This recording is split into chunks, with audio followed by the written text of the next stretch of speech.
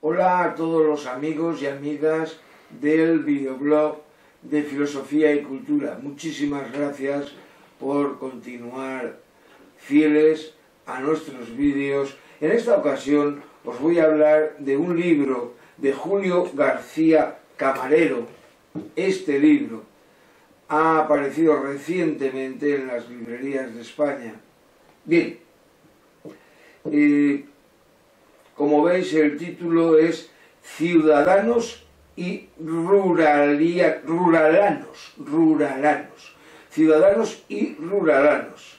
Eh, se refiere a el mundo de la ciudad y al mundo rural, ¿eh?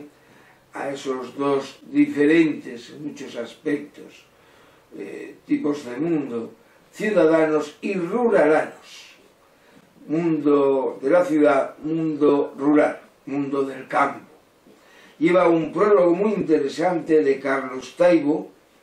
En fin, el libro es interesante. Yo os recomiendo que si podéis lo leáis. Bien, vamos a ver. Eh, Julio García Camarero, el autor del libro, es eh, una persona comprometida con el decrecimiento, con la idea de decrecimiento en concreto con lo que llama de crecimiento feliz. Y yo creo que lo más interesante para todos vosotros y vosotras es que tengáis una idea más o menos clara de lo que significa decrecimiento o decrecimiento feliz. Para ello os voy a comentar, os voy a leer el manifiesto del decrecimiento feliz, que es el fundamento y la base de, este libro.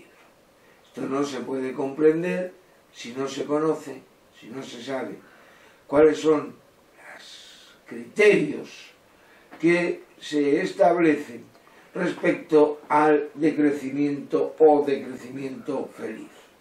Bien, según el manifiesto del decrecimiento feliz, se señala que es urgente iniciar un movimiento de transición desde el decrecimiento infeliz a un decrecimiento feliz, que se obtenga a partir de las siguientes 20 acciones de transición descritas en un doble catálogo, perdón, decálogo para una transición hacia ese decrecimiento feliz.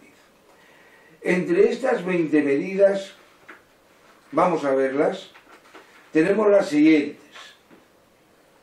Primera, la primera transición será desde lo material y crematístico a lo humano.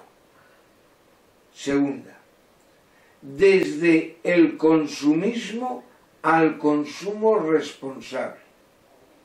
Tercera, desde el machismo patriarcal a una sociedad donde la relación hombre-mujer sea horizontal.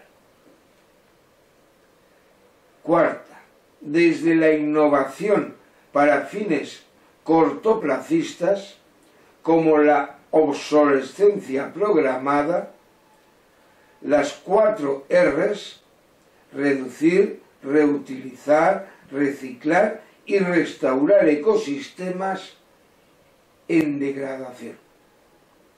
Quinta, desde el productivismo global a la producción local. Sexta, desde el antropocentrismo exclusivo a un ecocentrismo que incluya lo humano como parte de la biosfera, nuestra casa común, que tenemos que cuidar y mantener en buen estado. Séptimo, desde la competitividad a la cooperación. Octavo, desde el individualismo autista al apoyo mutuo.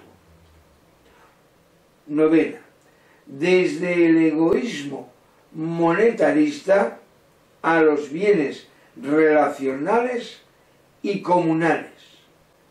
Décima, desde el estado del bienestar al bien vivir. Once, desde la megaciudad parásita a la agroecología. 12. Desde el monopolio a la economía solidaria y cooperativa. 13. Desde el monocultivo al policultivo. 14. Desde el pensamiento único a la diversidad cultural lingüística y la biodiversidad. 15.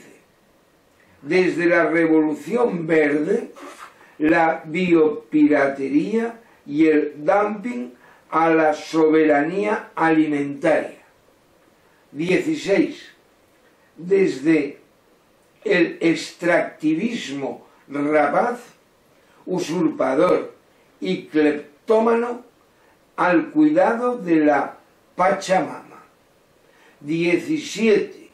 Desde el despilfarro esquilmador a la sencillez y austeridad voluntarias.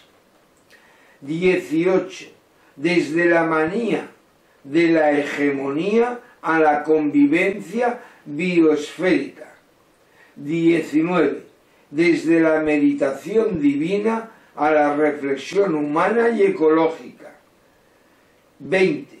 Desde las guerras militares y económicas a la paz entre todas las personas y animales.